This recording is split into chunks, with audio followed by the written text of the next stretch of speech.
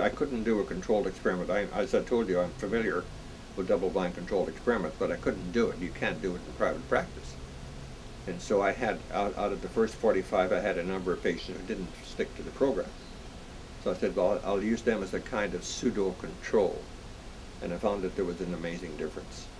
And that's, so then I gave this information to Linus Pauling. I was with him at a meeting and uh, in, in, in, Massachusetts. This was a Festschrift put on, put on by Arthur Sackler. Arthur Sackler was a very famous American philanthropist, MD, psychiatrist who was a friend of mine.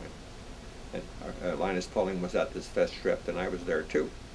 And so we had a chance to visit and talk. And so I told him about what I was seeing. So he became very excited because he'd been under a fantastic attack from the whole profession.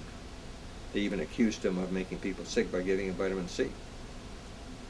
So Linus Pauling was delighted to hear what I said, and I, so he said to me, are you going to publish? And I said, no. And he said, why not? I said, because I don't think I can find a publisher who will take it. He said, he said, go ahead and do it, and I'll make sure you get a publisher. So I didn't take him seriously. I thought he was just you know, being nice to me. So for two years, I didn't do anything. And then one day, two years later, I got a letter from Pauling. He says, Dear Abraham, he says, where's that data? So then I said, oh my God, he's serious.